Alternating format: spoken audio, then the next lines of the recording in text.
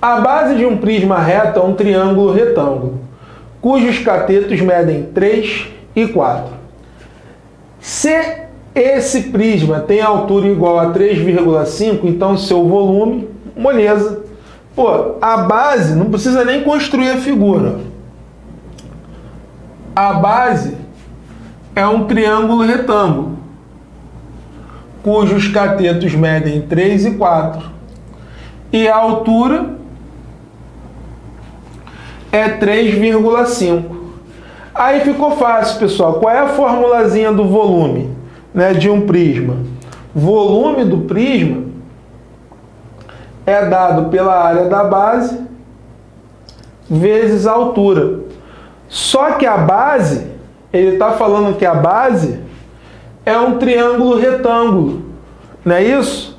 A base é um triângulo retângulo cujos catetos são 3 e 4. Pô, goiabada. Como é que a gente acha a área do retângulo, pessoal? É cateto vezes cateto dividido por 2. Cateto vezes cateto dividido por 2. Então, sem trocar muita ideia, a área da base seria 3 vezes 4 dividido por 2. 3 vezes 4, 12. 12 dividido por 2, 6. Daria 6 centímetros quadrados, a área da base. Maravilha? Agora vamos lá. Qual seria o valor do volume? Eu quero a interação com vocês, pessoal. É só aplicação de fórmula. Já achei a área da base, é só você multiplicar pela altura. Vamos lá. Qual seria o volume? Vamos lá, pessoal.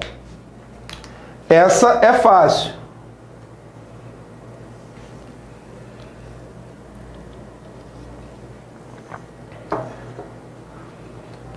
E olha a Andressa aí, ó. Que é um desconto.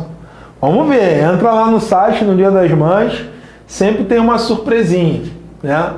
Vamos ver, vamos ver. O dia é amanhã, vamos ver. Vamos ver. Sempre tem alguma coisa, vamos ver. E aí, pessoal, quanto deu? A galera tá marcando aí, ó. 21, maravilha. Pra cima deles, essa tá fácil, é isso aí, goiabada. Aí é só aplicar, né, pessoal? Área da base, 6, vezes a altura, que é 3,5. Aí é só multiplicar 35 vezes 6, ó. 18 mais 3 e volta uma casa, 21. 21 centímetros cúbicos. Marca o V da vitória e vai ser feliz. Letra A de aprovado.